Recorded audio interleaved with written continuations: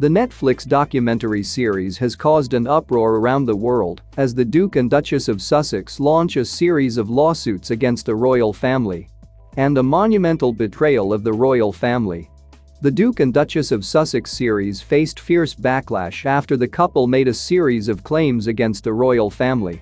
Harry alleges that Kensington Palace lied to protect Prince William when it issued a joint statement on their behalf without his permission the same day, denying a story that his brother had removed him from the royal family. He claimed his brother scared him as he yelled and shouted at him, while the Duke also accused his father, King Charles III, of saying untrue things when the Queen assembled them at Sandringham in January 2020 to solve the Megxit crisis.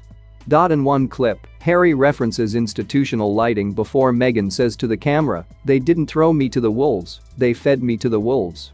But Nile Gardiner, a Washington-based foreign policy expert and enthusiast for the royal family, called the documentary series an absolute attempt to tarnish the image of the British monarchy. He said express.co.uk. The Harry and Meghan documentary series on Netflix is a challenge to the royal family.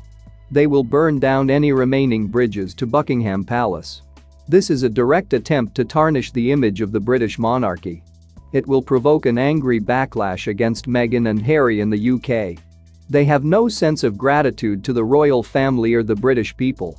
The monarchy represents the British people.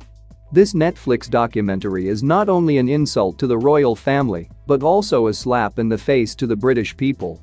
She added, there will be much unhappiness and sadness at Buckingham Palace regarding Meghan and Harry. This docu-series is seen as a monumental betrayal of the royal family and also a total assault on the British monarchy. Gardiner said the explosive series will be immensely painful for Prince William in particular, as Harry faces accusations of ruining his intimate relationship with his older brother. The royal family's enthusiast added that the Queen and Prince Philip would have been absolutely shocked by the documentary series. He said, This documentary series will be immensely painful for Prince William. Harry fundamentally destroys his intimate relationship with his brother and the rest of the royal family. He's acting like an enemy of the royal family, and that must break the hearts of Prince William and King Charles. Meghan and Harry's actions